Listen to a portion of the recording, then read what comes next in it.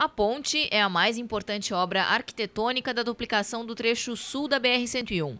Em dezembro, o anúncio de que o projeto de quase 600 milhões de reais poderia ser modificado levantou polêmica. Agora, em uma reunião em Brasília, ficou definido que as alterações que o DENIT poderá propor para baratear os custos da obra não devem interferir no desenho da ponte.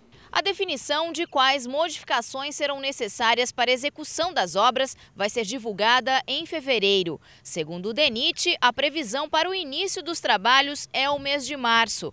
Por enquanto, estão sendo avaliados os custos do projeto da ponte estaiada.